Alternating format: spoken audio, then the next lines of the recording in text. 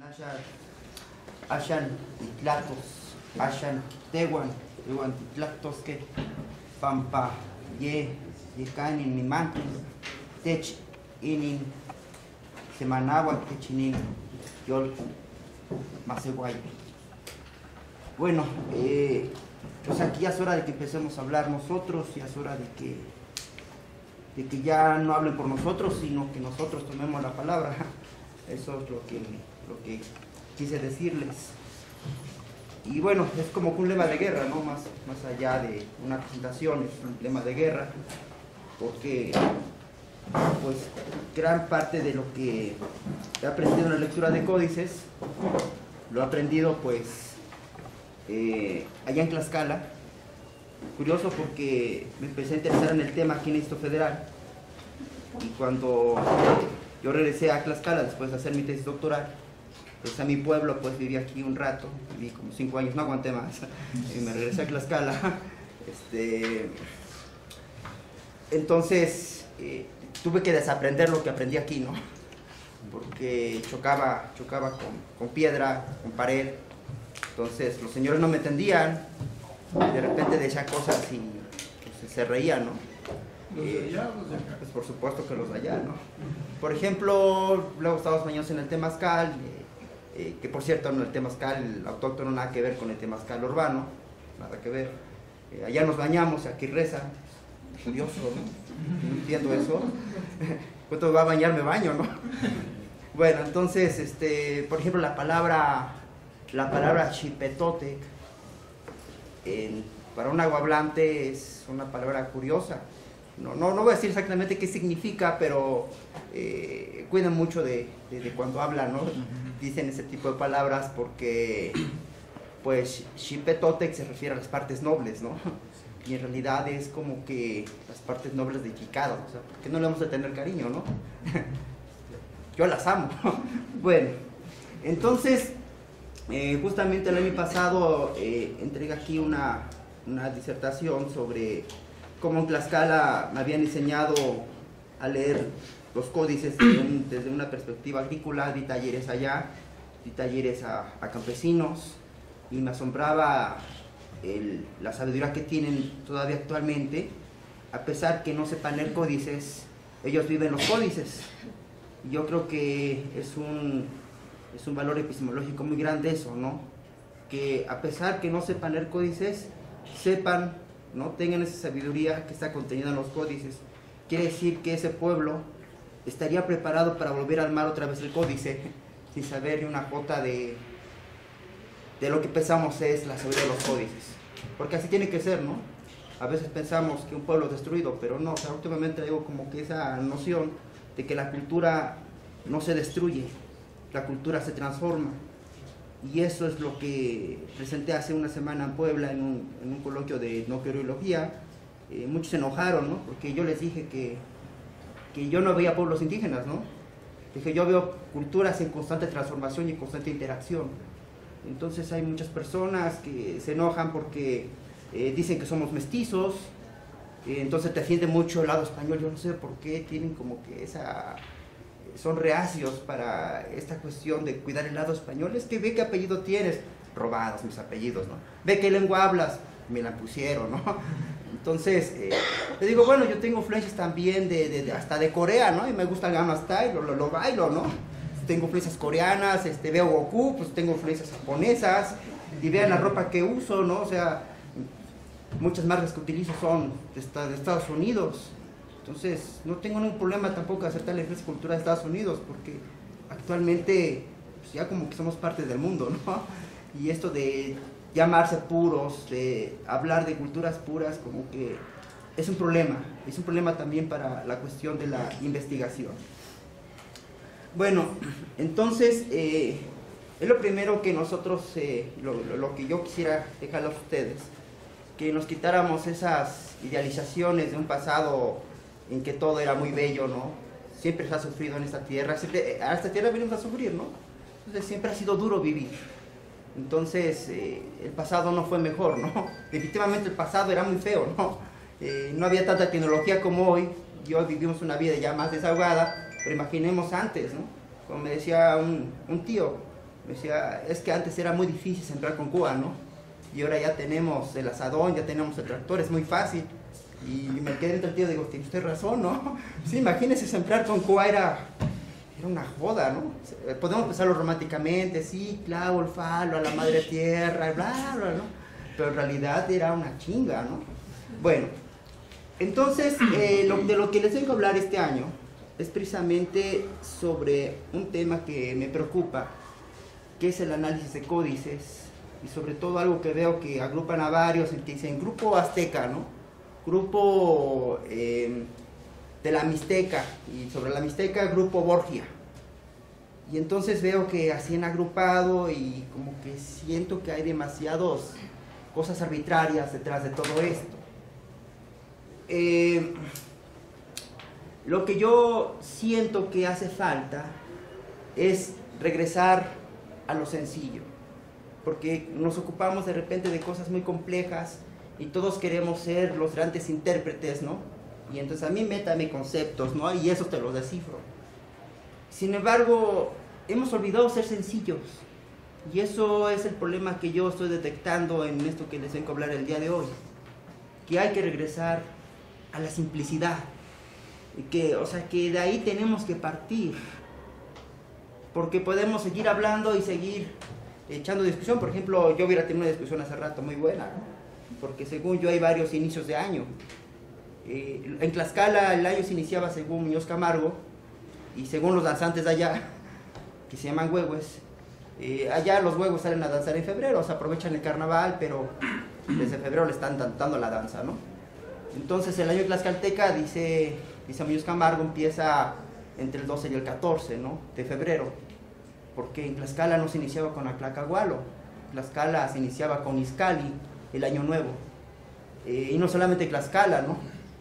Eh, creo que todos los seguidores de Camachli eran más o menos semejantes con este inicio de año. Entonces, eh, qué curioso, porque eso, que estaba escuchando la ponencia, exactamente en Palma, con esas observaciones que se hacen en el Monte Tlaloc, que por supuesto que era la frontera, ¿no? A los tlaxcaltecas antiguos no les interesaba mucho el Monte Tlaloc, por eso tenían a, su Matlalcuey, ¿no? Tenían a su montaña sagrada, en las cuales, eh, por cierto, también hay mucha roca de esa, de esa que podría interesar a los arqueólogos. Eh, hay una cima, está toda aventada, ¿no? Y se ve que ahí destruyeron un templo muy, muy importante. Solamente queda el, adoratorio, eh, pero está todo aventado y, es, es, harto interesante, ¿no? Porque eso también lo mandaron a destruir por los frailes, ¿no? Por supuesto. Bueno, entonces, eh, de lo que les vengo a hablar hoy es de la simplicidad que da la semiótica. Yo soy semiótico de formación, me interesa estudiar los signos y soy un gran apasionado de, de, este, de esta disciplina en la Facultad de Políticas Sociales de, esta universidad, eh, yo he ido a clases y pues me considero probablemente de los últimos semióticos que hay, por lo menos en esa facultad. Ya somos pocos, cada vez empezamos a escasear más y más y más y más, porque a nadie le interesa esta disciplina, eh, que para mí pues es mi vida misma. Eh, me gusta tanto la semiótica como me gusta la danza, ¿no? Yo soy danzante de corazón, danzo donde quiera que me llamen, allá voy. Entonces, y también cuando me dicen, vente a hablar de semiótica, ya voy, ¿no? Entonces, es así como que una, una, una relación amorosa hacia, esta disciplina. Entonces, eh, la semiótica, ustedes saben, la, la, la, inventan los griegos, muy antigua, empieza desde la cuestión de los diagnósticos médicos. Eh, uno de los mejores eh, semiotas de, la humanidad, sin duda es el Doctor House, diagnóstico médico. me encanta ver la serie del Doctor House con todas sus temporadas porque cada vez que la veo aprendo algo de semiótica, ¿no? Es exactamente es ejercer diagnósticos a través de los signos. Entonces, eh, mi, materia, mi materia de estudio son, son los signos y las evidencias y los indicios. Eh, sin duda, un, semiótico que se precie como tal no puede hacer teoría pura, porque toda su teoría tiene que estar, eh, ¿cómo se llama?, aterrizada en un objeto. Sin objeto de estudio, sin objeto de análisis no hay semiótica. Entonces eso es elemental. Entonces tenemos eh, a dos fundadores, al señor Fernández de Saussure y tenemos al señor Charles Sanders Peirce, del cual yo soy más seguidor de Charles Sanders Peirce. Y en la actualidad me gusta mucho el trabajo del grupo de Lija, el grupo mío, eh, encabezado por, eh, ¿cómo se llama? Jean-Marie Klinkenberg, que tiene una, toda una línea de investigación sobre semiótica visual, que es de donde voy a tomar yo las categorías que les tengo que presentar hoy para el análisis, de un libro que se llama Tratado del Signo Visual, aparecido en 1991, eh, y que editó al, español la editorial Cátedra, ya desaparecida. No sé quién, quién eh, si, si, hayan reeditado este libro, pero en internet ya anda circulando. Es un muy buen tratado, muy metido hacia lo que es la semiótica cognitiva, eh, y entonces nos sirve mucho. Eh, es curioso porque estoy en una, una facultad medio, medio paradójica, porque aquí como que odian mucho la semiótica algunos profesores.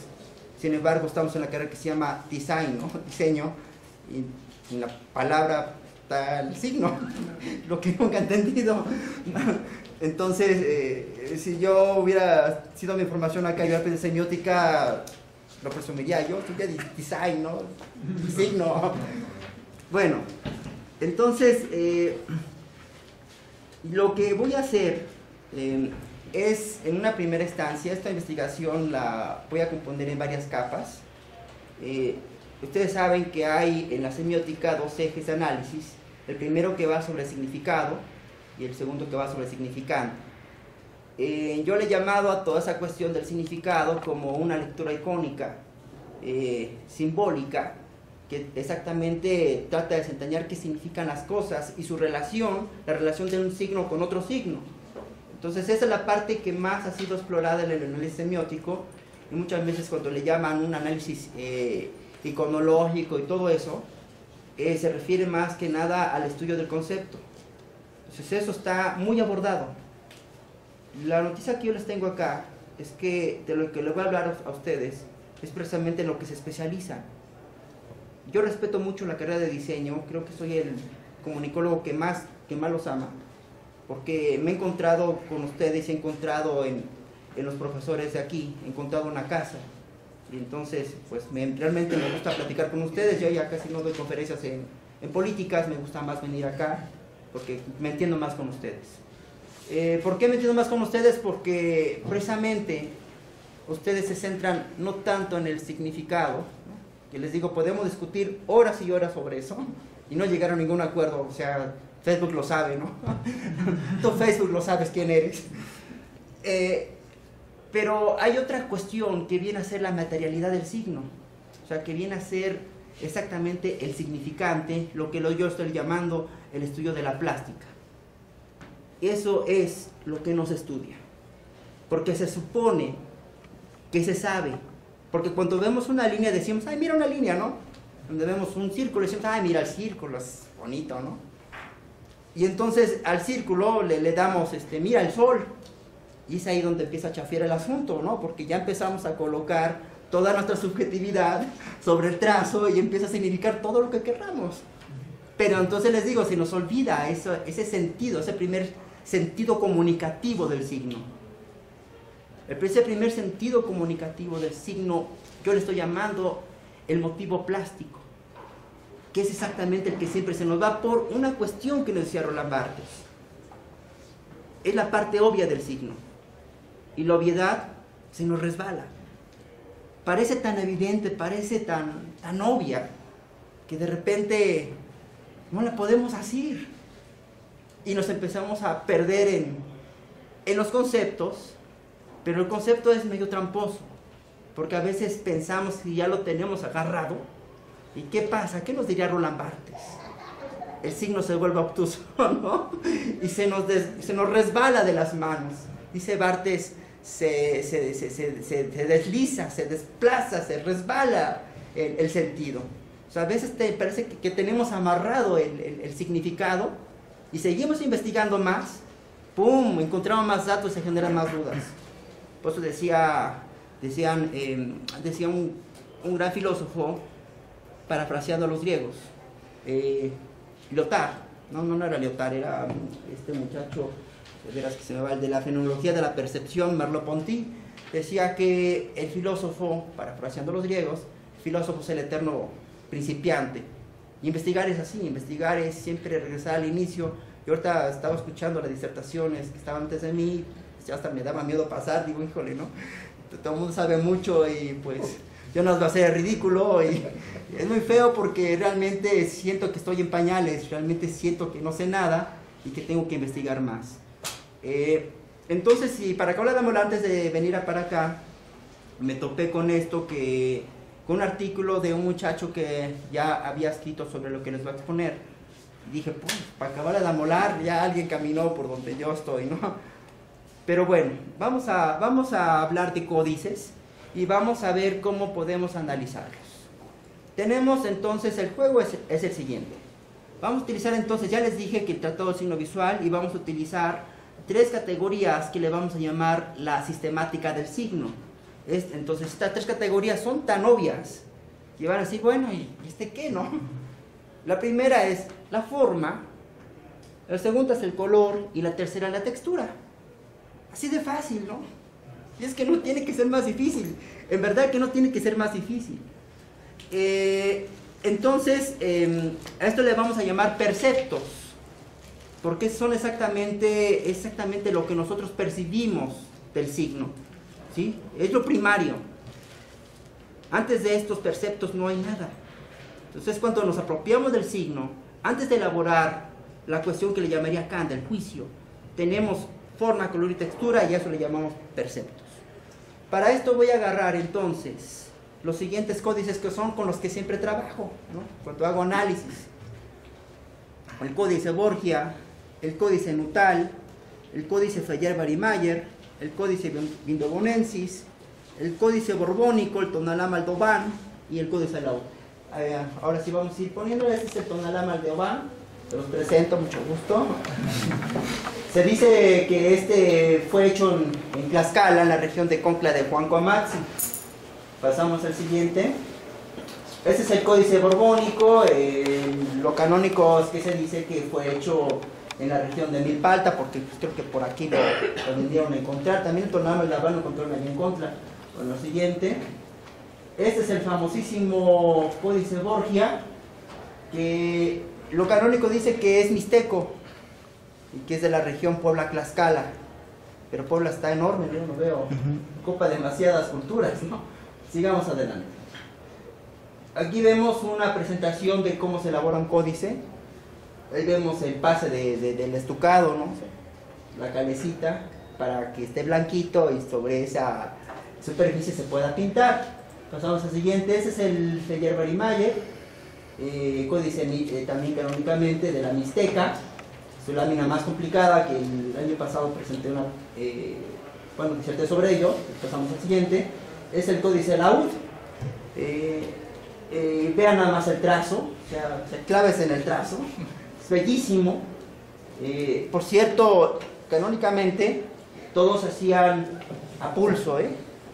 era el trazo así libre, sin auxilio de nada. Un buen tlacuilo, o sea, un buen pintor, se caracterizaba por no utilizar más herramientas que su, que su manita. Entonces vean la perfección de esas líneas, ¿no? O sea, son, es una maravilla. Pasamos al siguiente. Eh, este viene a ser el, el que es de la región mixteca de los códices que cuentan historias. Pasamos al, que sigue. Es el códice Laúd. Em, más vean también la, belleza de este códice, es así como que yo casi que le veo el hecho de, chiflo. Eh, vean bien aquí, este, eh, eh, hay un detalle que quiero marcarles. Esto es lo que le dicen en Oaxaca, en la región de los valles centrales, el Santo Rayo. Entonces es claro, teniendo una culebra, pero esa culebra es el rayo. Y creo que se la presta a su hijo, el Huicholo Postri, para pues, hacer su guerra contra la luna, el apoyo Shakti. Entonces este, la Chicual, el rayo, eh, en Tlaxcala, en Cacasla, encontramos al mismo Tlaloc, que sostiene también su, su ¿cómo se llama?, su, culebra, y quiere decir entonces que es el mismo motivo cultural, o sea, están implantadas, todas las culturas. Esto se hace en Tlaxcala una danza que le llamamos danza de la culebra. Entonces los danzantes se van chicoteando, se van pegando chicual, se derivan chicote, chicote lo conocemos actualmente como látigo.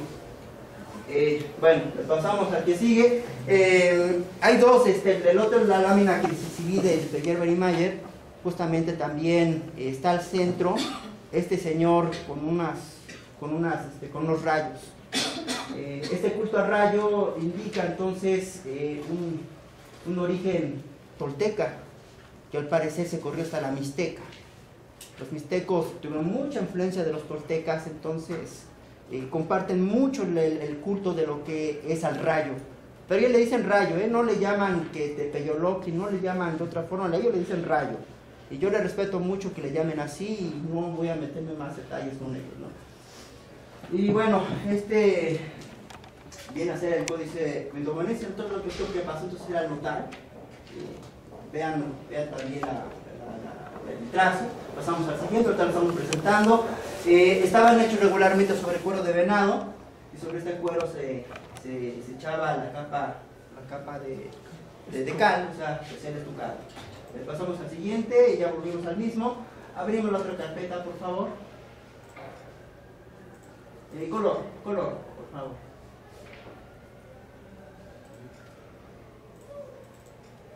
Muy bien.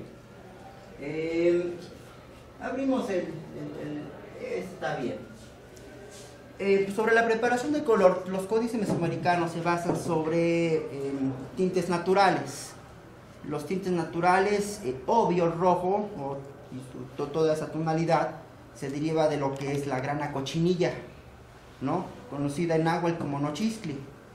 Eh, el azul, este azul es difícil de lograr, se hace con añil pero este añil lo producen, creo que su capital es Oaxaca. Eh, aquí el altiplano central, pues de dónde, ¿no? Entonces ese se tenía que importar. Es un dato muy importante, muy, muy importante, porque solamente los, los poderosos mexicas podían importar este tipo de, de, artículos, ¿no? Cuando se va acrecentando la diferencia entre tlaxcaltecas y mexicas en 1502 a partir de la muerte de Aguizor, hubo un cerco que duró hasta que los tlaxcaltecas hacen la alianza con los españoles, ¿no?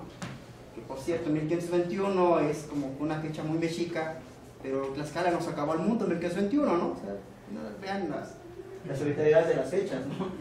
Eh, entonces el azul es, es el añil. Eh, aquí encontramos la grana cochinilla, encontramos el, el añil, y hay otra eh, otra tonalidad que viene a ser como el amarillo, que se puede sacar del sacaclascali, eh, que se traduce como sacaclascali, y, o del yaucli o pericón, también se puede obtener de esa forma. Eh, de hecho, el pericón da un tinte amarillo bien, bien bonito, ¿no? Y también se va hacia los verdes. Eh, y como que son los, los, los bases, el, el, verdecito, por ejemplo, se puede obtener con, con encino, y el café se puede obtener con capulín o con nuez, con la nuez que es la de, de acá, la, la, la, natural. Entonces, eh, primero, bueno, hacer una exploración de lo que es la tecnología, la tecnología del color, y esta es la tecnología del color, eh, que, que, que, se utiliza, son tintes naturales, y ya les digo cómo se van obteniendo, ¿no? Eh, bueno, eh, aquí lo que quiero que también eh, veamos es exactamente cómo se hace un análisis de, de color. Primero tenemos que ver la tecnología de, de, los tintes, cómo se logran. Y para el color tenemos que utilizar tres categorías que se llaman dominancia, luminosidad y saturación. Entonces en el códice borbónico eh, vamos a encontrar que dominan eh, lo que aquí no se encuentra mucho, mucho el, el verde, pero aquí más o menos lo vemos. Ese verdecito no lo encontramos en los demás códices, es como que muy exclusivo de, de, de, del borbónico. Eh, probablemente lo haya logrado con, con, lo que es el encino. Eh, hay un problema con este códice porque no hay un buen trabajo con el estuco. Se ve que el que prepara este códice no era muy bueno. Vean, Vean la superficie. Ahorita vamos a comparar con otros códices para dar cuenta de la cochinada de trabajo que es. Luego hasta aquí como que a veces los, los voy, o sea, ¿qué es esto? Usted lo hubiera visto en Mixteco, lo reprueba, ¿no? Reprobado, órale, y a repetir el semestre. Porque sí, o sea, van cortando las figuras. O sea, hay un trazo muy raro. Pasamos al siguiente. No es luminoso, no es muy luminoso el, el, el, el códice borbónico por el mal estucado. Eh, aquí pasamos a lo que es el Borgia. El Borgia, fíjese nada más lo curioso, es que no tiene añil.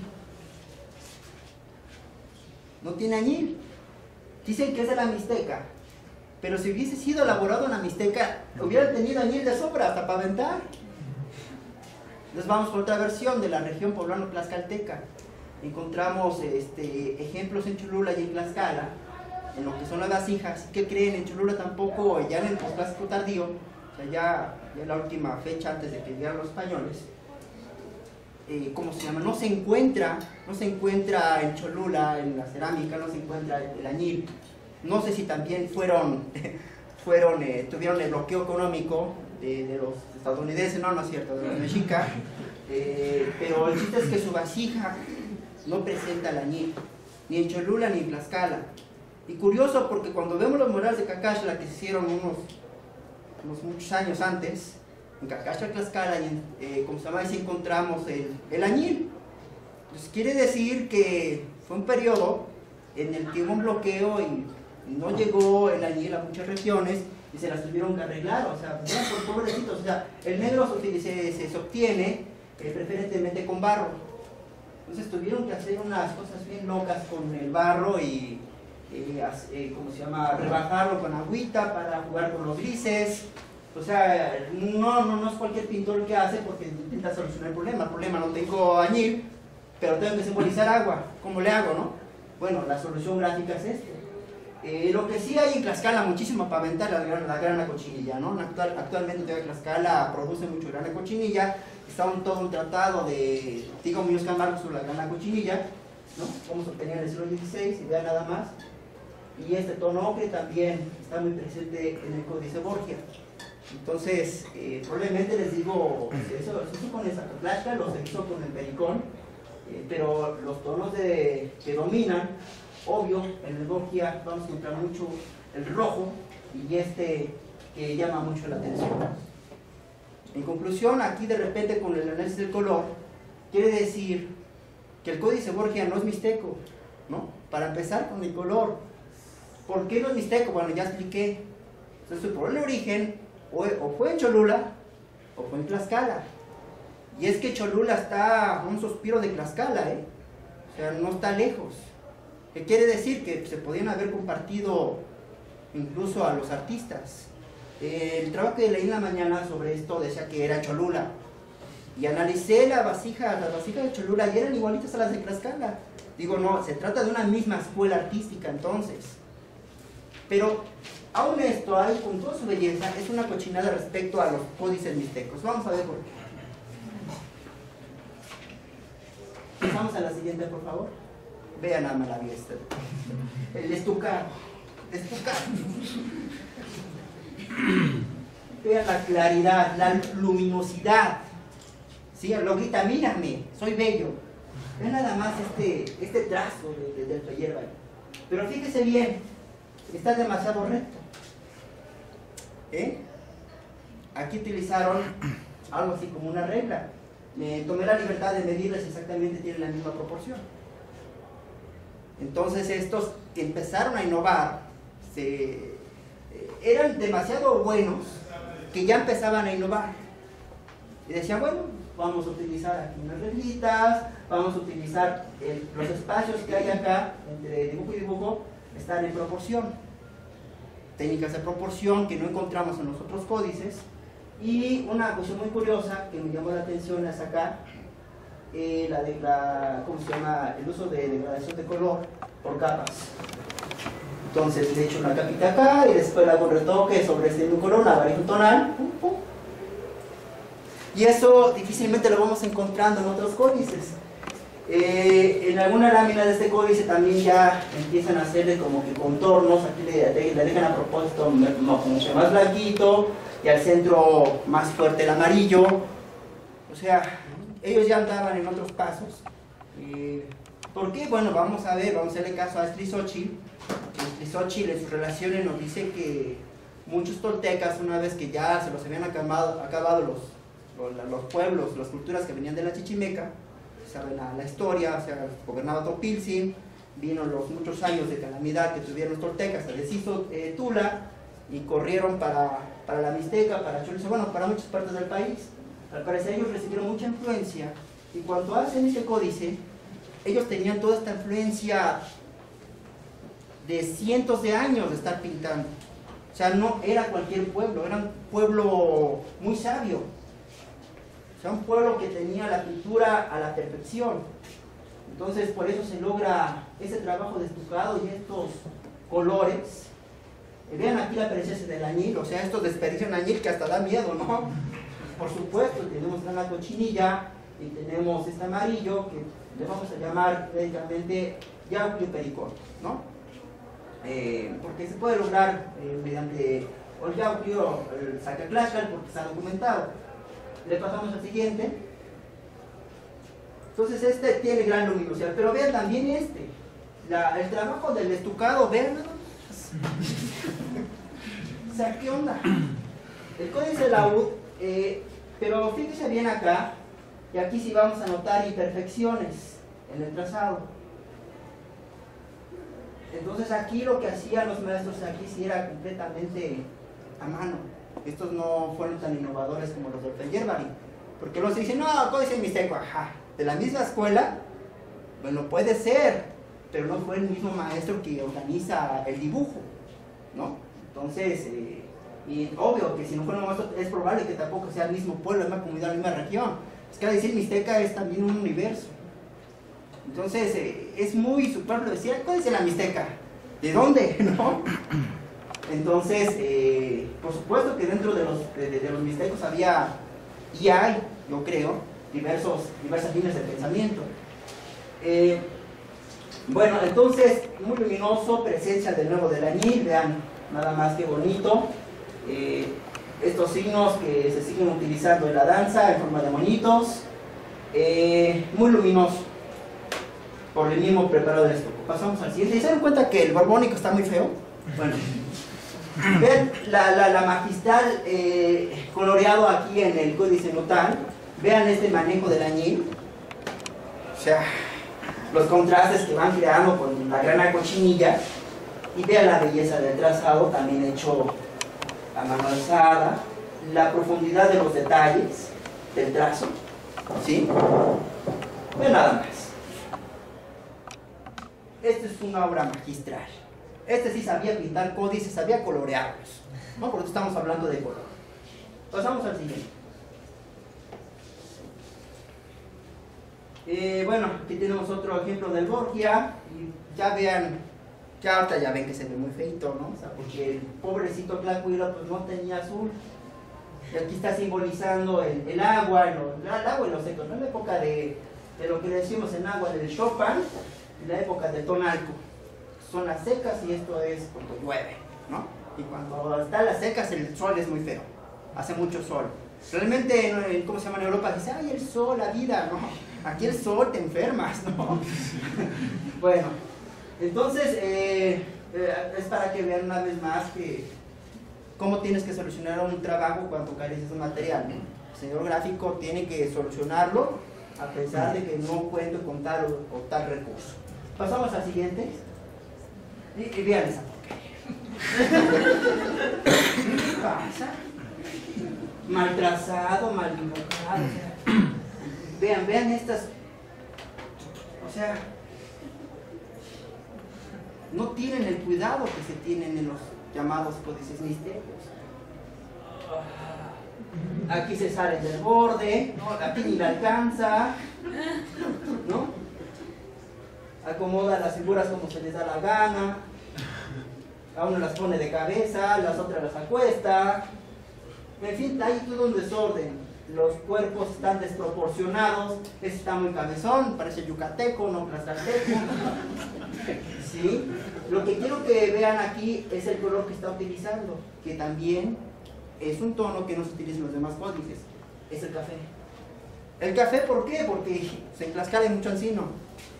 Y seguramente lo lograron allí. Para analizar un códice hay que ver el entorno, el ecosistema. Y ese ecosistema se va a reflejar aquí. Por eso les decía, hay que empezar por lo elemental, ¿se dan cuenta? Todo lo que nos puede decir un códice, nosotros, ay, mira, es que es el Dios tal, que quiere decir tal, y la naturaleza tal, y, y que se compara con los mandales tales. Se nos ha olvidado lo esencial. ¿Qué dice un códice de su entorno? Vamos a lo siguiente. Estoy como que autotonizando los códices. Vean nada más eso.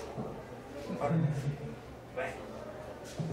Entonces, eh, de nuevo, el añil, el trazado, otra vez el lineal. Vean, eh, estos márgenes en rojo son, son comunes, es parte del canon. Los márgenes se van a hacer con rojo y no lo vas a delinear con negro. Eh, pasamos al, al, al. Y ya lo recorrimos todos, pasamos a la siguiente carpeta, por favor. Y vamos a forma. Muy bien, agarramos el que sea, porque está bien.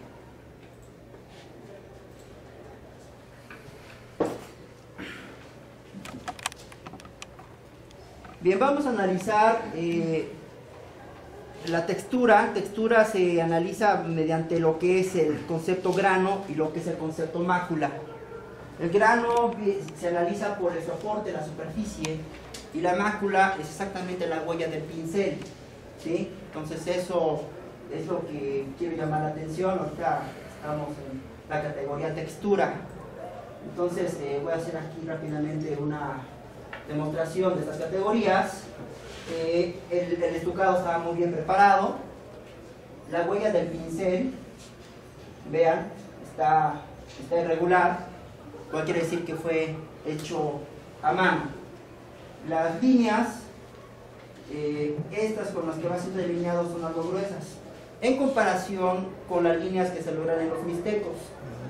El códice Borgia, por una cuestión de la mácula, la textura, no es un códice mixteco, porque los mixtecos son mucho más finos. Su escuela indica una, un trazo más delgado. Vamos al siguiente. Vean nada más. Aquí el, el clasulo va cuidando aquí. También el, el, el, trazo está hecho completamente a mano, pero sus líneas son mucho más finas. Vean, gruesa, fina, utiliza, tiene un mayor repertorio de pinceles. Entonces, eh, y obvio que el grano, grano es muy bueno porque el trabajo de está averiguando. Seguimos a eh, aquí tenemos eh, de nuevo al, al, códice Borgia, pero pues ya hablé vean la línea, ya vieron que la línea es mucho más tosca que el pasado. Pasamos al siguiente. Bueno. Ni qué decir, ¿no? Eh, eh, aunque aquí se ve luminoso, ¿no? Le ayuda mucho, mucho esta versión. Yo tengo una versión en la que se ve completamente opaco, pero bueno, eh, vean cómo en el trazo de los bordes tienden a invadirse, a tocarse, a, o sea, eh, aquí ni, aquí ni siquiera acaba de concluir el dibujo, lo interrumpe. A pesar que tiene la grana cochinilla, a pesar que tiene el añil, a pesar que el tlacuilo le dan todos los elementos al alcance, hace puras porquerías. Parece Peña Nieto, ¿no? Teniendo un país tan rico de ver las porquerías que está haciendo. Pero ¿qué creen? Es un códice tlaxcalteca y tiene añil. ¿Qué quiere decir? O lo hicieron antes de la muerte de Aguizol, cosa que no creo porque lo hubieran sacrificado 50 mil veces, o ya no había vigilancia y por eso ya se daba la libertad de hacer estas porquerías. Ya no había una casta que lo, que lo castigara por hacer esto. Y ya había entrado la añil. Entonces quiere decir que se hace cuando ya la religión cristiana entra a nuestro país. Por lo tanto, este códice lo vamos a clasificar como un códice, podríamos llamarlo así, eh, ya en la época de, la, de, la, la, los cristianos. Bien, pasamos al que sí. eh, esto que es el borbónico, el borbónico también tiene problemas de lectura, porque regularmente los códices se van leyendo de izquierda, bueno, de derecha a izquierda, viéndolo así, ¿no? O sea, de aquí para allá. Pero este va al revés. Este se lee, dice aquí, este, Tlachimaque, de aquí se Chopolhuetzi. Son dos fiestas, ¿no? Con el palo encebado, que muchos se han este, tirado con eso, y se clavan unas cosas bien raras acá, y que, que vuelan como hable, no sé qué, no, que la danza, que no, es un palo encebado, y aquí están los premios, y aquí está la gente bailando, ¿no? Como está la fecha. Yo con una cultura no se destruye, simplemente se transforma. Bueno, entonces, eh, el estucado también me hace parecer este, este códice como sospechosista, diría Fox, porque el estucado también es muy malo. El trazo también llega a ser muy desproporcionado.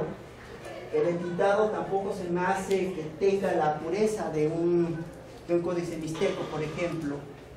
Y sobre todo el modo de lectura, que va, este, es demasiado subversivo para el canon entonces, o era un artista muy experimental que hacía cochinadas, o el códice tampoco pertenece a la época en que el canon era intocable. O sea, puede ser que este códice borbónico también sea de, una época en la que ya está establecida la Iglesia Católica aquí en nuestro país. Al, que sigue, por favor.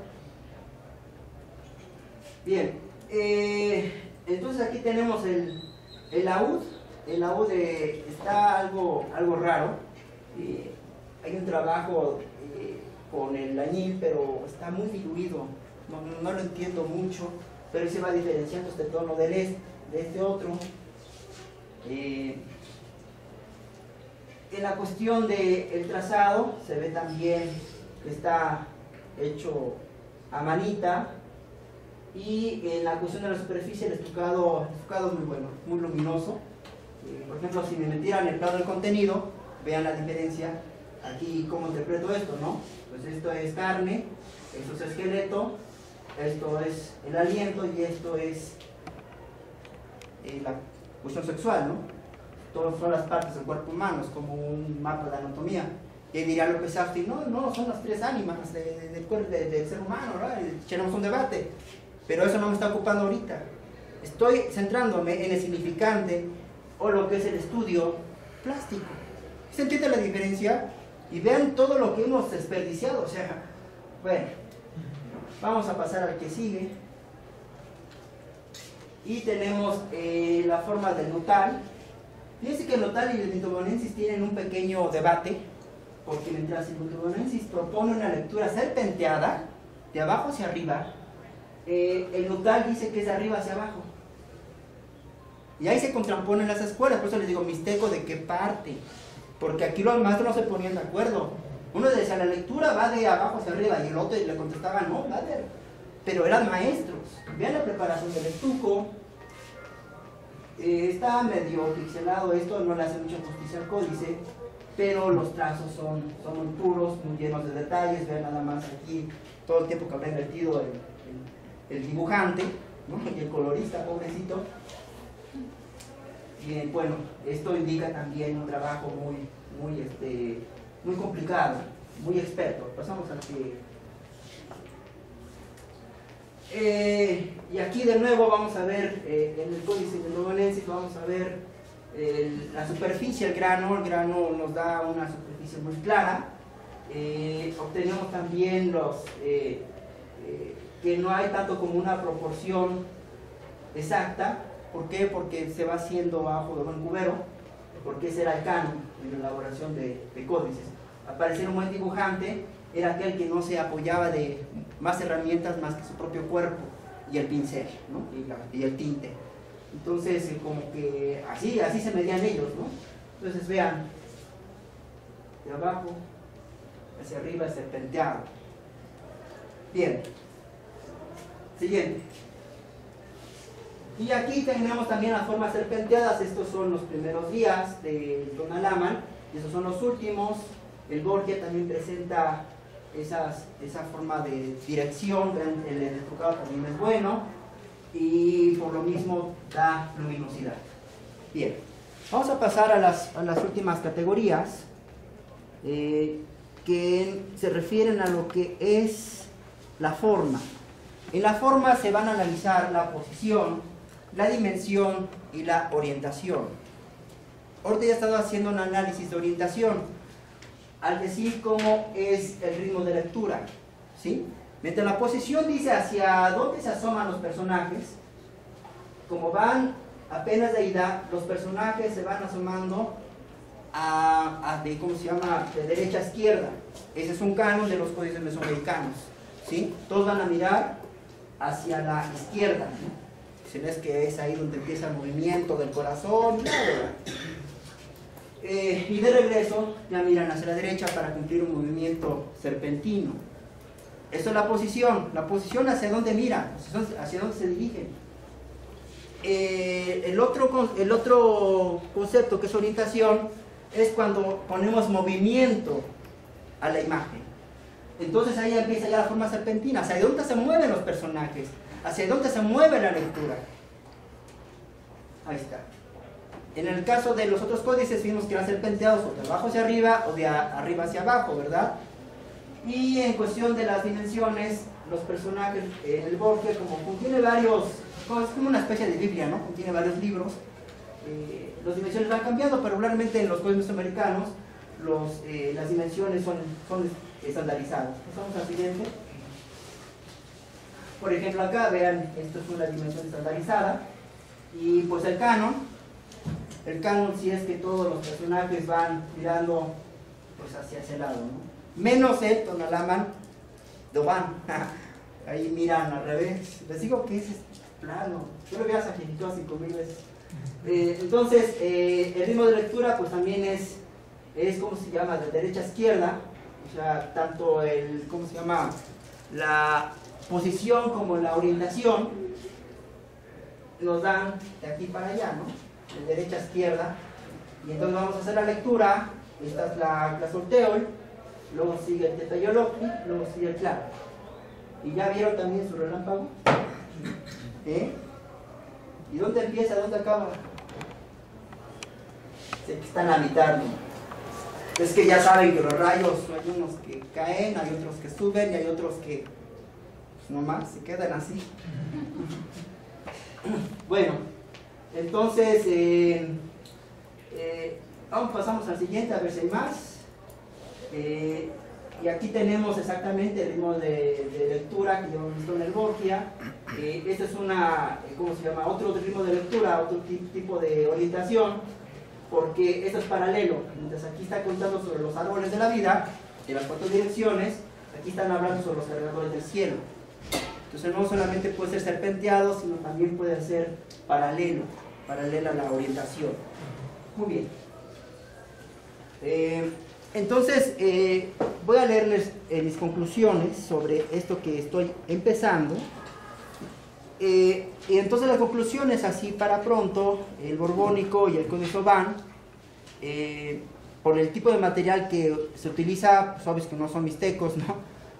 Por la cuestión del Oban que utilizan sino, y por, el otro que utiliza capulín, que utiliza nuez, al parecer fueron originados aquí en el altiplano. Eh, por el contenido del, del, ¿cómo se llama?, del borbónico, que habla de rituales mexica-tenochca, probablemente que esta región haya sido, pues donde se originó ese códice, pero ya en una época cristiana. Del Tonalá Aldobán, pues ese pues es la Tlateca, pero también ya de una época en la que ya está el cristianismo. Eh, los códices mixtecos eh, sí los vamos a poder agrupar de acuerdo a su trazo, vamos a identificarlos por su trazo fino y por su estucado, entonces sí podría estar ahí el, el ¿cómo se llama? El es el neutral sin duda, ¿no? Por lo que cuentan, aparte. El AUD, el AUD es quizá el más canónico de todos los códices que analicé, porque es donde más estrictos son, y el Mayer es el más experimental, el Clacuilo se da oportunidad a probar nuevas técnicas.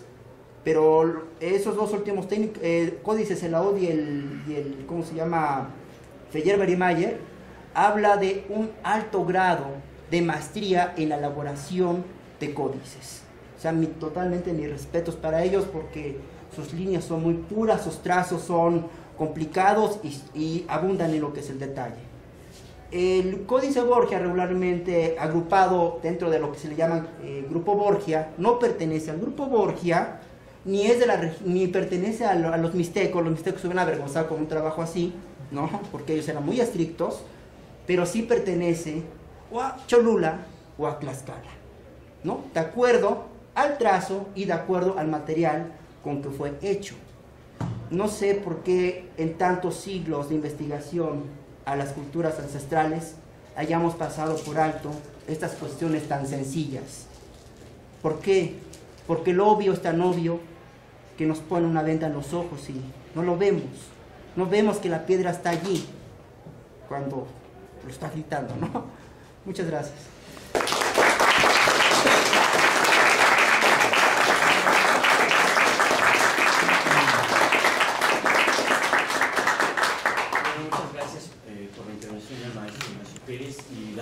Cabida preguntas o comentarios que quieran ustedes hacer. Este, bueno, tengo una pregunta. Eh, bueno, hace rato mencionó pinceles y mi pregunta es sobre si son parecidos a lo que nosotros ocupamos ahora o son diferentes y qué otro tipo de herramientas ocupaban en el momento de pintar. Sinceramente no investigué eso, yo nada más utilicé, investigué sobre los trazos, no, no exactamente, no fue mi investigación esta cuestión de los pinceles. Tengo entendido que los pinceles eran hechos con, obvio, con, este, con cerdas naturales, pero lo que sí vamos a encontrar de acuerdo a los trazos, encontramos huellas, que es lo que estamos llamando la mácula, de que los mixtecos utilizaban eh, pinceles más, más finos que los que se utilizaron, por ejemplo, en Cholula, en Tlaxcala, con el Códice Borgia. Eso sí lo podemos saber, ¿no? Inmediatamente, eh, como estoy haciendo una los perceptos, es exactamente yo lector lo que puedo deducir del códice, ¿sí? a cuestión de la percepción. Es mi subjetividad con el códice. Aunque claro, sí, este, cabría una investigación sobre, sobre exactamente qué tipo de pinceles, ¿sí? porque de hecho para, esta, para este trabajo que me había invitado Mauricio, me tuve que meter a un, a un taller de elaboración de tintes naturales que la verdad disfruté mucho, y aprendí a hacer añil con pulque. Entonces, estuvo buenísimo el taller. ¿Y cómo se llama? Y sí, bueno, es una investigación que, que está arrancando porque me falta todavía la parte del significado. Porque hay que hacer las cosas bien y entonces este ejercicio es empezar a hacer las cosas bien desde el principio. Gracias. Bueno, nada más para eh, dar un comentario. Bueno, gracias. Toledo eh, Martín. Hola, buenas tardes.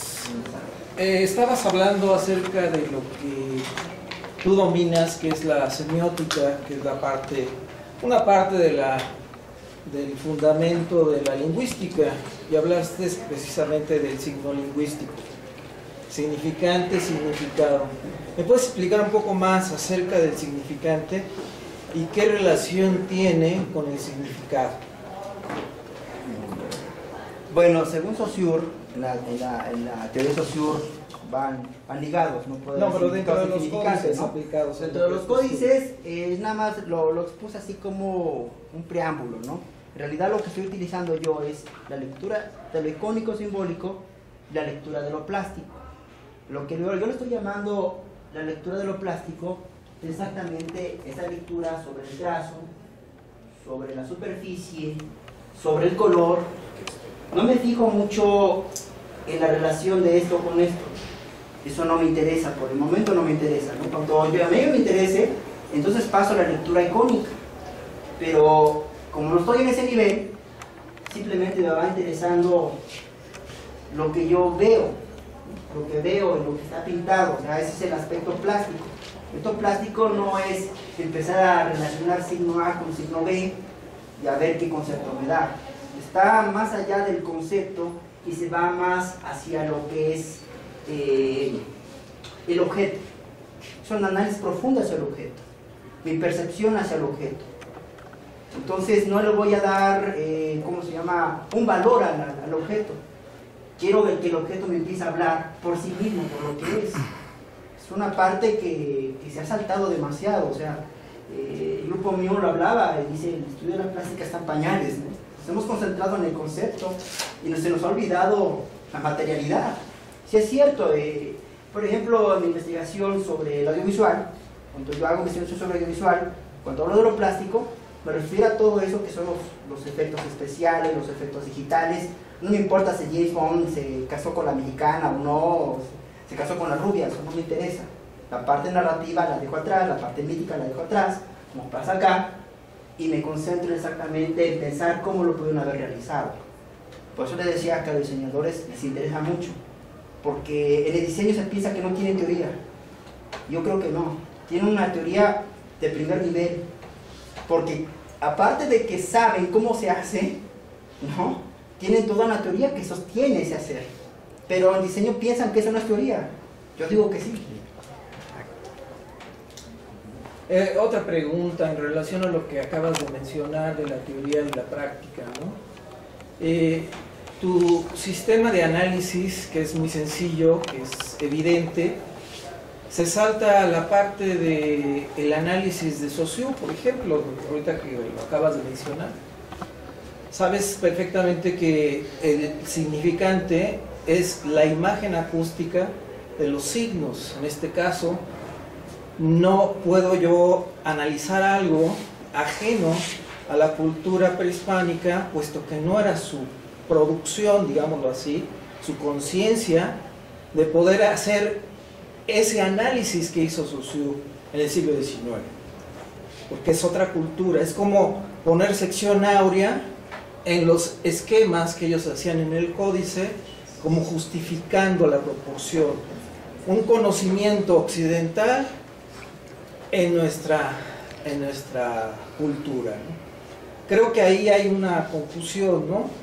Muchas veces el, tipo de análisis, el punto de vista que tenemos como diseñadores, historiadores o eh, eh, observadores de la cultura que está alrededor, ¿no? A veces buscamos lo malo y no buscamos lo bueno de una imagen.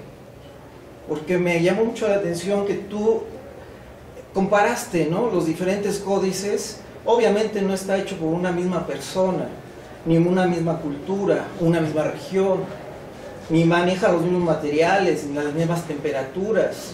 Entonces, en ese sentido, es injusto que digas, esta es una porquería y lo vamos a fusilar. Porque me parece que hay que buscar la riqueza que lo hace que tengamos no la certeza, sino la seguridad de que lo que está transmitiendo realmente comunica lo que debería de comunicar o que nos transmite la forma, el color y la textura. A pesar de que hemos evolucionado de esa cultura, que todavía existen rasgos, todavía estamos en la época en que estamos especulando, todavía estamos adivinando, no tenemos esa base que nos permita que tú puedes tener con esta sencillez que nos estás hablando, de descubrir. Tal vez no conozcas el instrumento, tal vez no hayas hecho un estucado, tal vez no hayas dibujado, pero eso te permite el análisis, la reflexión, poder sacar ese tipo de cualidades de comunicación que debe existir en esta nuestra cultura madre. Entonces, te felicito, no quiero ahondar más en el asunto, te admiro en el sentido de que te arriesgas y que no pierdes tu identidad. Y eso es muy valioso, al menos para mí.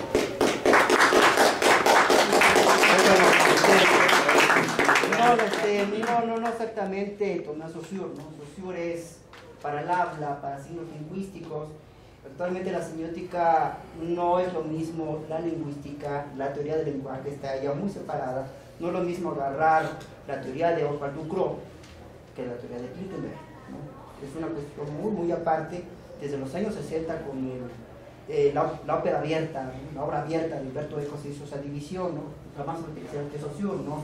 Si utilizo que Saussure, me truena, o sea, tan solo porque es un signo visual, ¿no? tiene más elementos que lo que es el habla, ¿no? jamás Saussure, la ciencia ciencia.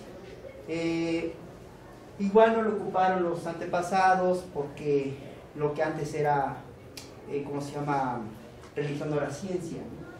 pero la ciencia ciencia, yo estoy utilizando una metodología científica eh, para hacer esos análisis, eh, que lo hay, no, no eh, por ejemplo, es como cuando eh, Patrick Johansson dice, voy aquí a descubrir que, que Nezahualcóyotl utilizaba metáforas.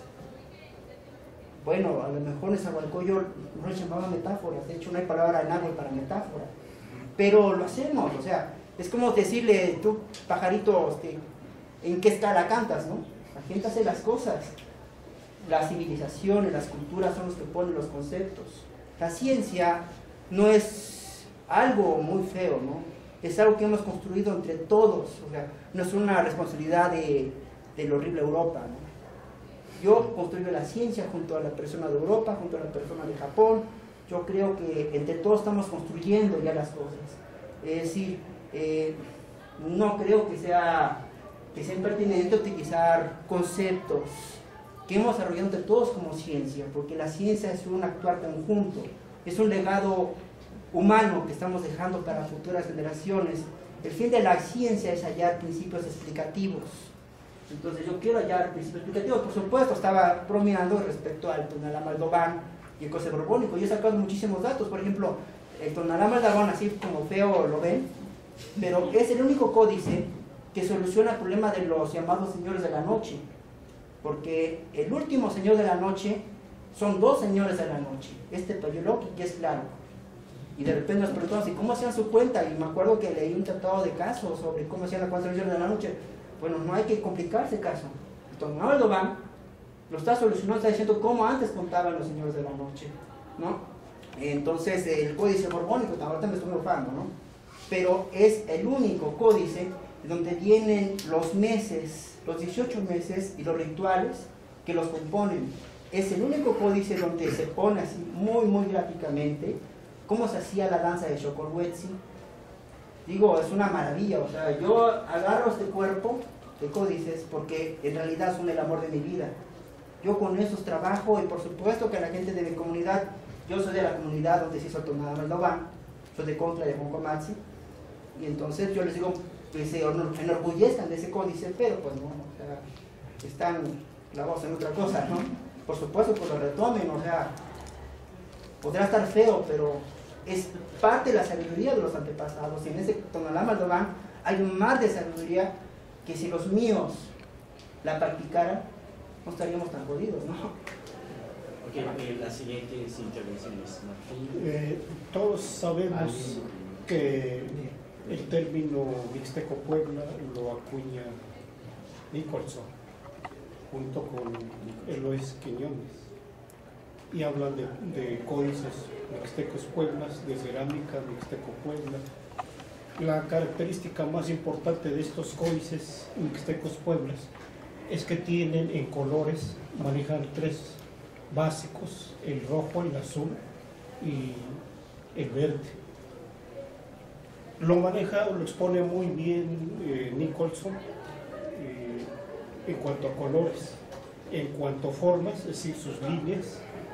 Nicholson habla de que tiene líneas gruesas, pero también usa líneas delgadas o finas.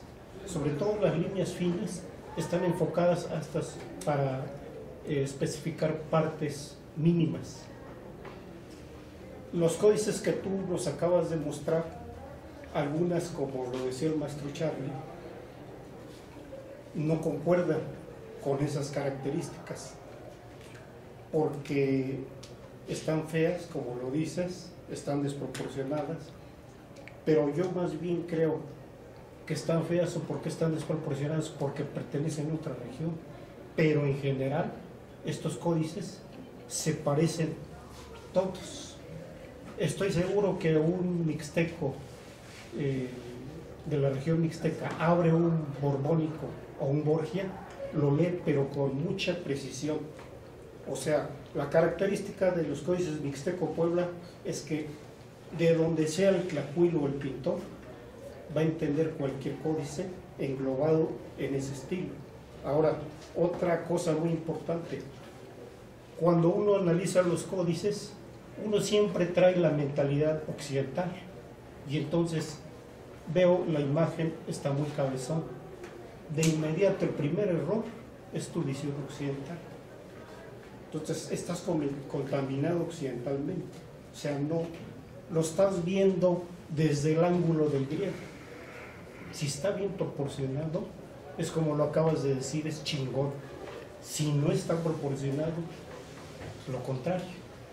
¿no? Entonces, yo creo que ahí está el problema de la visión. ¿Cómo lo vas a abordar occidentalmente? ¿O lo vas a abordar como tú lo acabas de decir? Voy a ver el códice, pero tomando en cuenta el medio. Cuando yo abordo la imagen y no tomo en cuenta el contexto histórico, el contexto social, económico, político, estoy cometiendo el mismo.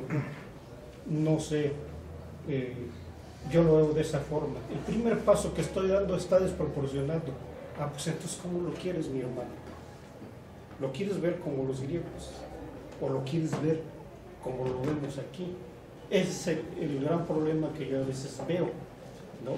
Querer estudiar una cultura desde allá, desde el otro lado del mar, y no arrancar desde su contexto, a ver cómo está su economía, política, sociedad, visión, ¿no? Y entonces, eso que te acabas de decir, desproporción, cabezón, lo que sea, ¿no?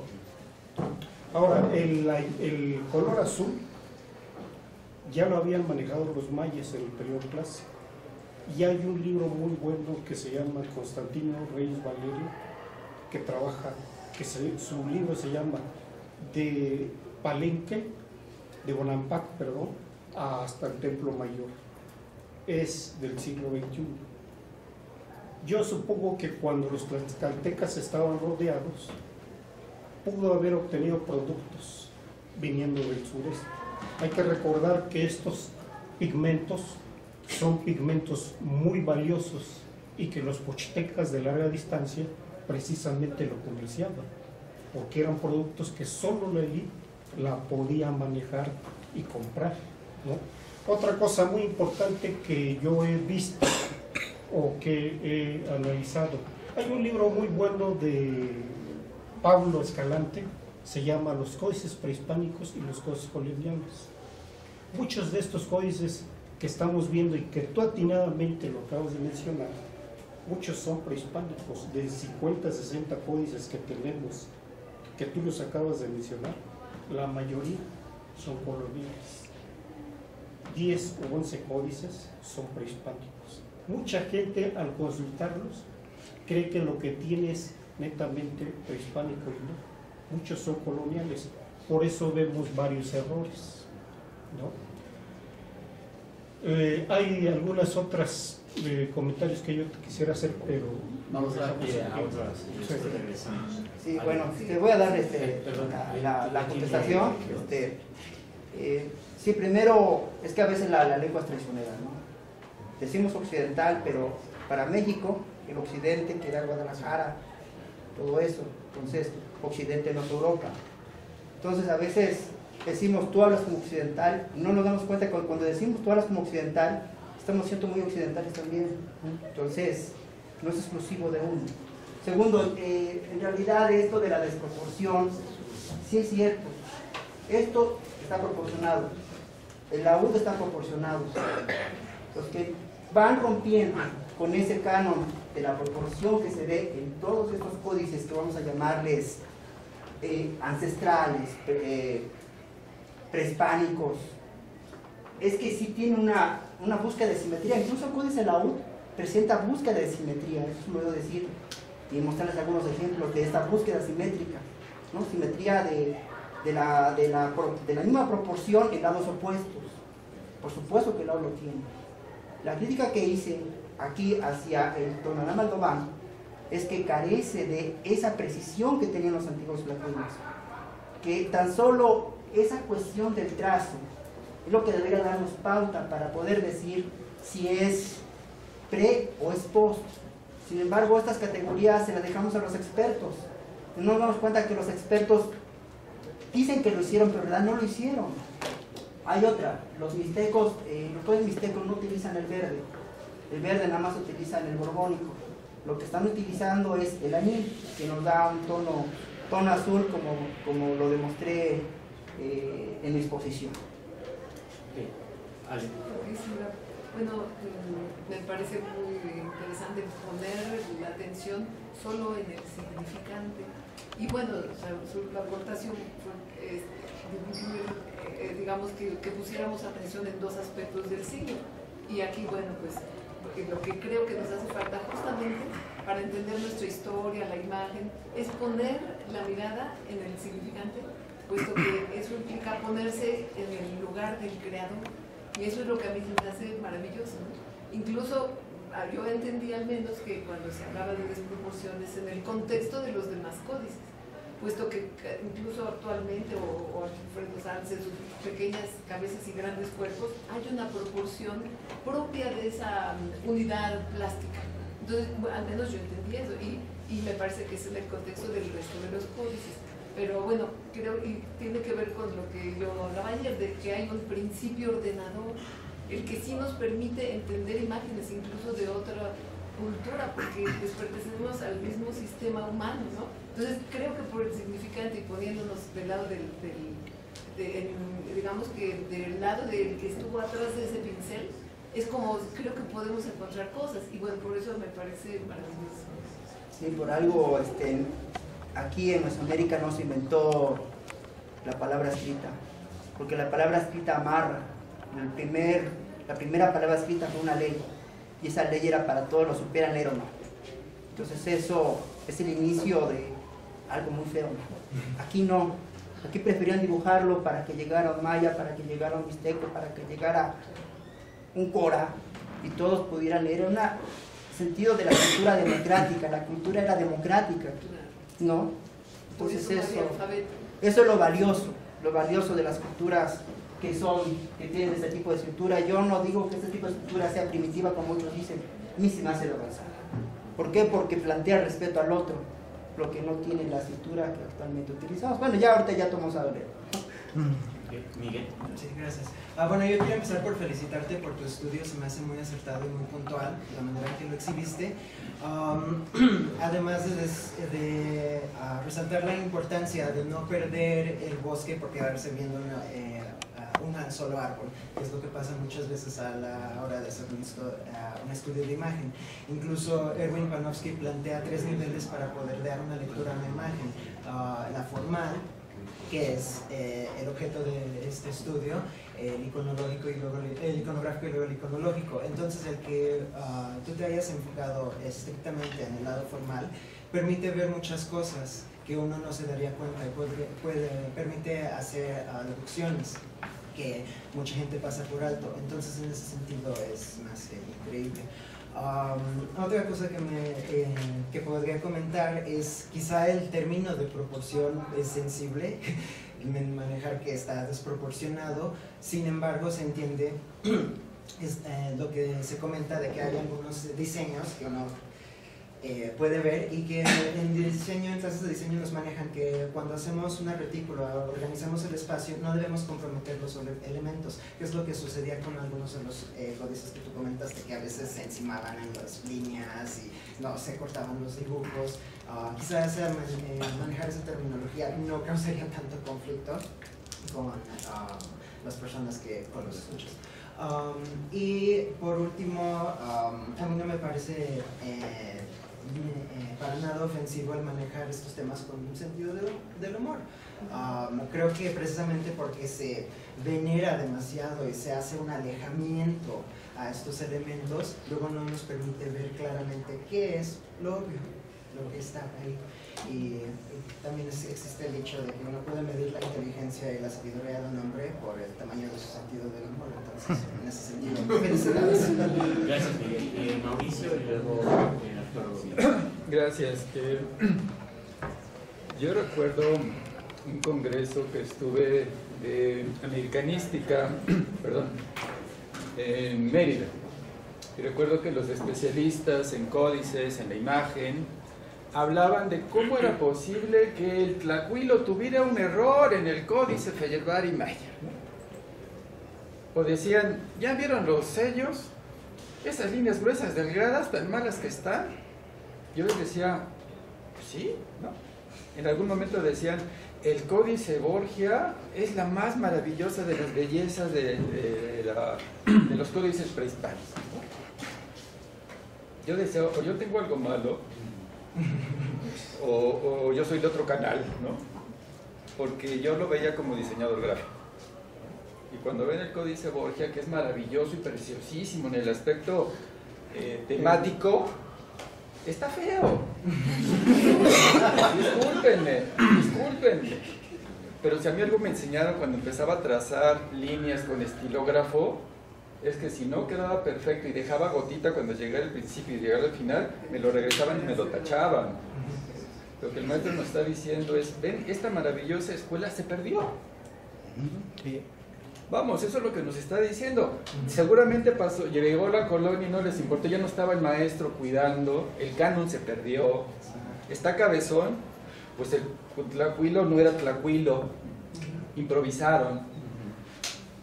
Ahora que yo leía a Nicholson, que comentabas, ¿no? Y decía, es que en el Códice Borgia esto era azul pero se oxidó. Qué manera tan fácil de salirse del problema, ¿no? El maestro está diciendo, espérame, aquí está el borbónico y está azul, ¿qué pasó? Entonces, esos detalles que el maestro nos está llamando la atención, en cuanto a técnica, en cuanto a trazo, en cuanto a maestría, escuela, canon, y está haciendo una comparación, creo que es muy pertinente. Una persona, eh, te digo, en estos congresos diría, ¿cómo es posible que pongas uno prehispánico con uno colonial? ¿Estás borracho? ¿Cómo es po- posible que, pongas uno de azteca, mexica, borbónico y pongas uno de la mixteca poblana? ¿no? O sea, es imposible que tú mezcles estos dos y, y te pongas a hacer análisis. Pero yo no estoy analizando el sentido temático, estoy ana- analizando la línea y la línea es universal. Si utilizaron un estilógrafo, si utilizaron un pincel, si utilizaron un cabello, debe de tener maestría. Y creo que eso es lo que como diseñador me importa ver. Cuando analizaban, cuando decían si los sellos son malos o buenos, yo decía, ¿viste la maestría con que solucionaron la forma? ¿Viste ese mono en tres líneas? O sea, un mono con tres líneas es increíble como diseñador, pero los otros que no trabajan la forma, la imagen, les preocupa qué significa el mono. ¿no? ¿Qué tipo de mono? qué tipo de mono, ¿no? Y me mandan a llamar a un biólogo para decirle de qué, si es de la costa, si es del altiplano, si es de... Ya, ya nos pasan de ahí. Y entonces, esta parte que nos llaman ahorita la atención para un- una escuela de diseño y de arte, que es tan importante, es decir, sí, o sea, esa parte también es tan importante como la temática, y a veces pues llama la atención sobre otros aspectos que se van perdiendo. Si está feo o no, pues con la pena, está feo. ¿Verdad?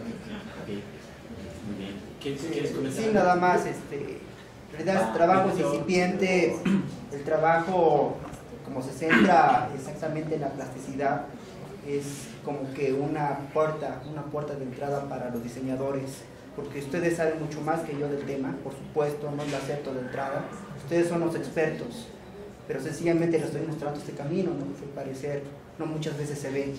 Entonces, eh, si ustedes me quieren regañar con los, el aspecto de los pinceles, no, yo creo que fue el pincel del punto 5, todo eso, por supuesto, ustedes tienen la razón, o sea, yo ignoro de esas cosas, pero bueno, esta es, esta es como que la propuesta, o sea, ustedes saben, enséñenos, por favor. Eh, bueno, primero que nada, te felicito por hacer este intento de la explicación de los códices desde esa perspectiva que nos acabas de exponer. Eh, nada más, eh, digamos, como referente y para aumentar un poquito este, la información que puedes consultar, eh, María Teresa Sepúlveda, ella tiene varios eh, textos publicados y donde te da el sentido, por ejemplo, de, de los de lectura de códices, eh, en fin, todo un análisis de cómo están y también en ello puedes tú eh, comprender un poquito, eh, ya lo mencionaba mi compañero, de que se desarrollan las diferentes técnicas, comprender también diferentes temporalidades es muy importante, ¿sí? y muy pocos códices efectivamente son prehispánicos. ¿sí? ya todos están elaborados en, eh, son post-conquista y como 30, 40 años después, es casi, casi como cuando hablan de Jesucristo en la Biblia, que se escribió hasta 80 años después, entonces este, eh, casi tenemos esto mismo. Ahora bien, como información arqueológica, te comento, en Cacastla ¿sí? Eh, se localiza eh, los talleres de los, de los tlacuilos, ¿sí? la escuela, no talleres, sino la escuela de los tlacuilos. Ahí es donde se han localizado todos los instrumentales ¿sí? y eh, y siempre decimos que son códices este, mixtecos, esos que ven tan bonitos y todo, pero no es de que no, no compartieran este, eso, sino más bien irían por los popolocas. ¿sí? Entonces ya los popolocas este, les falta el reconocimiento real y, eh, y parece que esta, el código con su estilo eh, que fue instruido, pues lo están eh, manifestando y lo están eh, entregando. o sea, era una escuela. Obviamente cuando se rompe la institucionalidad que estaba prevaleciendo, se cambiaron todos esos códigos, esos estilos y lo que se llegó aprender, ¿sí? o medio aprender, ya sea que medio alcanzaron este, eh, tomar un poco antes de la conquista y después de la conquista, este, es lo que ellos, digamos, pudieron plasmar. ¿sí? Entonces, cuando, y es otra vez eh, nada más la llamada de atención, pero quería que lo vieras de esta manera, o sea, eh, no podemos descalificar, no podemos, digamos, tenemos que ampliar un poquito nuestra perspectiva, nuestra forma de ver las cosas nosotros le llamamos tener un poquito de perspectiva antropológica, ¿sí? el ser humano crea las cosas de diferentes maneras, entonces no podemos darle calificativos de que si es bonito o es feo, sino si queremos realizar un análisis, ¿sí? Eh, tenemos que comprender su momento. Entonces, eh, si se analiza de que está eh, el explicado muy bien o el otro está muy feo, ¿sí? los términos, eh, tenemos que comprender las condiciones en las que se encontraba, las condiciones en que se realizó, el tiempo, en fin, hay muchísimos factores. Entonces, eh, eso, eh, digamos, es nada más para decir que, pues, no es muy bueno descalificar de esta manera, digamos, un trabajo que no sabemos o ignoramos que lo que está haciendo. Yo, por ejemplo, recojo información de los campesinos que me dicen que ahí en, la fosa donde estaba el, adoratorio principal, ellos de niños aventaban una piedra y, este, y nunca oían cuando caía, ¿no? O sea, tiene bloqueado ahí una roca que ha de pesar como unas dos toneladas, y no creo que en la época moderna no existan datos, de que hayan tallado exactamente una roca así para meterla en la chimenea del volcán y taparla. Entonces, este, pero los campesinos dicen, no, de niño aventaban ahí eh, eso y ya, y alguien lo tapó. Y, yo no puedo descalificar al Señor, sino sencillamente es la visión que Él tuvo, que es la vivencia que percibió. Entonces, eh, eh, digo, pues es nada más como observación al respecto. Y pues sí, te digo, eh, yo creo que sí te serviría bastante este, consultar los materiales de esta eh, Sepulveda, y felicidades. Sí, este, bueno, en realidad la pregunta de investigación es por qué les llaman Borgia, por qué les llaman Azteca, por qué les llaman prehispánicos, por qué les llaman posthispánicos. Yo no quise hacer un juicio de antemano, decir, este es posthispánico y ahí encasillarlo, ¿no? Quise encontrar cuáles eran eh, las cualidades dentro de lo plástico que lo convierten tal o cual. Entonces, exactamente en, ese contexto ya de calificar a los códices uno por uno, es cuando yo tengo que empezar a hacer los deslindes, porque exactamente, o sea, aunque no nos guste, el tonalá maldobán delimita mucho su preparación del estucado, o sea, que quiere decir que ya no había esa escuela, que ya no estaba el maestro presente. Entonces, curioso, porque tonalá maldobán, con todo el material que tenía a su disposición, tiene añil, tiene encino, tiene un montón de tintes. Eh, tiene demasiados, demasiadas imperfecciones comparándolos con lo que se estaba trabajando en el, en el Códice de la U, ¿no? Por supuesto, las condiciones que sufre Tlaxcala a partir de 1502 fueron terribles, o sea, no entraba nada. Todavía conservamos en la memoria oral sobre la, cómo fue de, de feo aquella época. Entonces, cuando vemos los choconoscles, decimos, con esto, esto lo hacía de jitomate, y el tequesquite eso lo hacía de sal. No entraban plumas, por eso en los trabajos, en los, adornos tlaxcaltecas, no aparecen las plumas. ¿Por qué? Pues no entraban. Entonces, hay que ver también el contexto, ¿no? Y de acuerdo a ese contexto es como digo, ¿y por qué si hay añil en el tonalá? Entonces eso, eso también nos hace falta. Nos hace falta ver la- la- el contexto histórico, ver la cuestión del ecosistema, ver la cuestión del trazado. O sea, son muchos, muchos factores que vuelvo a repetir, que por irnos hacia lo que es el estudio del concepto, estamos pasando del lado de lo esencial. Este trabajo es, en realidad, volvamos a la esencia. O sea, sí conozco demasiados trabajos, llevo añísimos trabajando en códices. Esta vez me aventuré a la cuestión más sencilla. Pude haberme echado toda una disertación sobre el significado, ¿no? pero realmente ahorita no me está interesando, ¿no? Quiero, quiero irme a estos aspectos en los cuales eh, quiero cuestionarme a mí mismo. ¿Por qué le llaman, por qué le llaman este, posconquista? ¿Por qué le llaman prehispánico? Porque, porque a fin de cuentas todos son conceptos arbitrarios. Entonces, y esa arbitrariedad no me tiene que caer a mí como un, un peso, ¿no? Recordemos que toda investigación parte de la duda, no de certezas. Entonces eso es lo que estoy exhibiendo, a lo mejor por eso me siento un poco vulnerable, ¿no? Porque exactamente estoy exhibiendo muchas mis dudas, porque tal vez encuentre más adelante pistas de que ni siquiera algo dice Borges sea de Tlaxcala, ¿no? Yo ahorita estoy sosteniendo que sí, pero en la mañana encontré pistas de que puede ser de Cholula. Entonces requiere mucho trabajo. Una investigación, por supuesto, no que no, la la investigación siempre va a ser un libro abierto. Bien. Eh, bueno, ya no. Bueno, entonces, eh, antes me voy tomar tres minutos. Yo también creo que es muy importante retomar esta parte que tú llamas de materia, o lo material. Me parece que ha habido intentos de hacerlo, por lo menos en el proyecto de pintura mural, sí, sí tomamos esa ruta.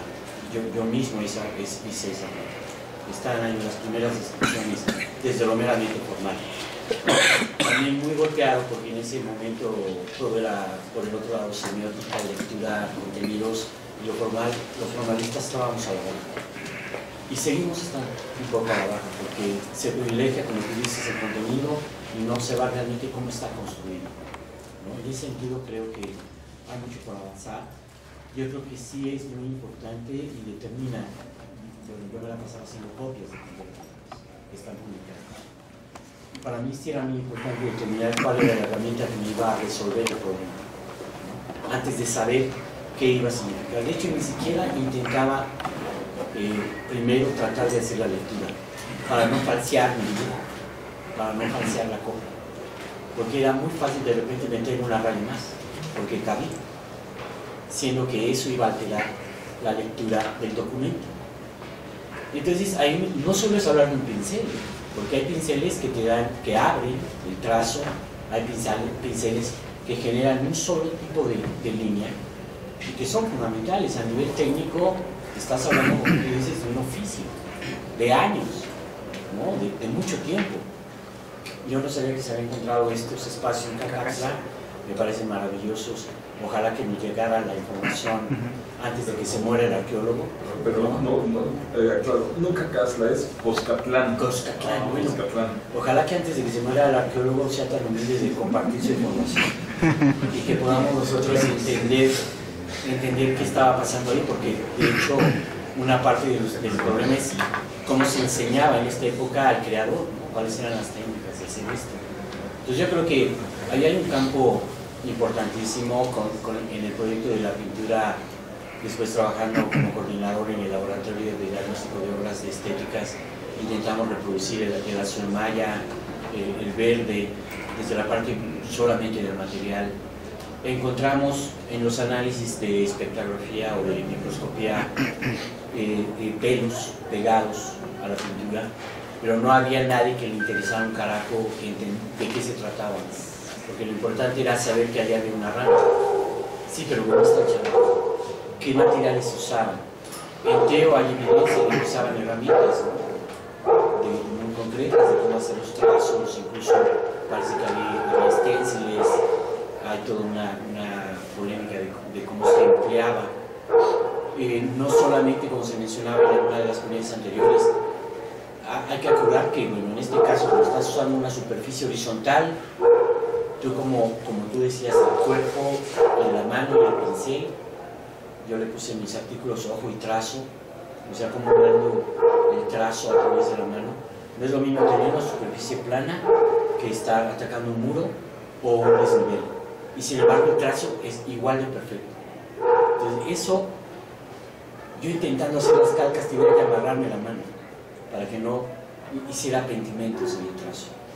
Entonces lograr esto no habla de un pincel, por ejemplo estas líneas verticales más bien son de otra herramienta, un tipo de estilógrafo, que está como perdido, porque esto necesitarías un pincel eh, corto, no, no, no cónico, que cargara muchísima tinta para poder hacer el trazo y que no se viera volver a, a tomar la tinta. ¿Sí? Entonces, esto te está llevando a una serie de análisis que evidentemente no están hechos y que es una parte técnica. Y, que sí es muy importante porque yo como, como tacuilo dependo de este material para, para ser honesto y veraz en lo que yo digo. Ya usar la otra parte de la tecnología, efectivamente yo creo que coincido con Ale y te entiendo, que existe decir cabezón, bueno, es que está fuera del canon, que, que, está en el promedio de lo que estás viendo, cómo está resuelto el, el trabajo de la representación antropomórfica, ¿no? Que ahí también había que trabajar, ¿no? Yo tengo algunos trabajos hechos en términos de esto. ¿Cuál es el concepto de escala y proporción en relación a la solución de la figura humana, pero que también se reconocen varias salidas. No es lo mismo hablar de Cacaxa y Bonampak que de un códice. Porque aquí tienen una estructura compositiva que no es igual a, un, a Bonampak o Cacaxa o una Estela. Sí, son, son cuestiones que tenemos que ir avanzando poco a poco, ¿no? pero muchos de los que están aquí, que son hacedores, que si te peleas con el papel, si le mientas la madre a la tinta, porque no, no, no es cubriente. Tú dijiste varias palabras claves. En lugar de un pigmento tinta, efectivamente, el azul maya es más una tinta. Se maneja como, como en la parte creativa más como una acuarela que como un acrílico. En Teotihuacán se caen los verdes porque son más acrílicos, tienen una composición diferente.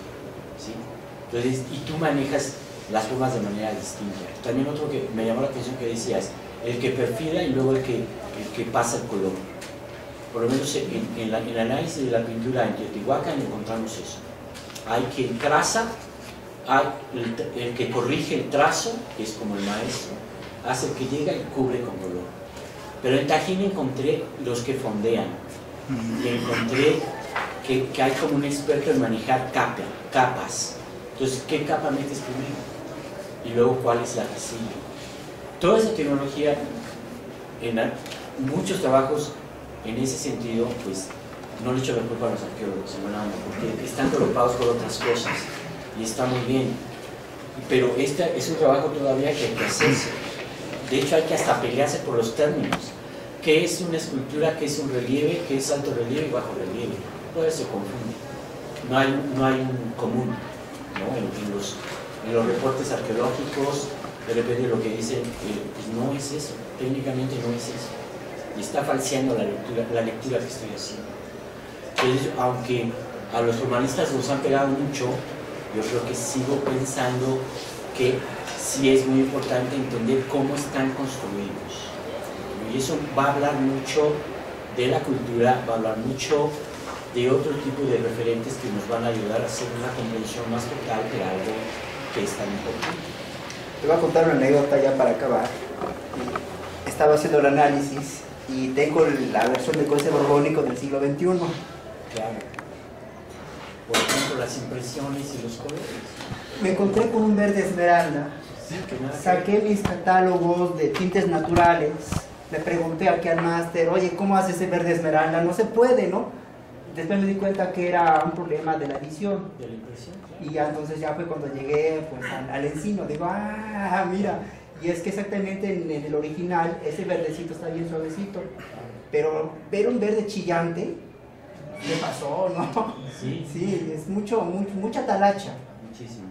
Hay mucho que hacer por ahí, ya no quiero despe- desperdiciar más, bueno, ocupar más tiempo porque está el otro ponente, pero sí, este, cuando hicimos la reproducción de la Zumbaya encontramos por lo menos 200 tonos posibles de esa paleta, que van hacia el verde y azul. Y depende de cómo metes la carta. Ahora, está perdido el ¿no? Por más veces que mandamos muestras a Suecia y siempre sí nos sale un azúcar, pero no sabemos qué es. Y está perdido, porque falta trabajo.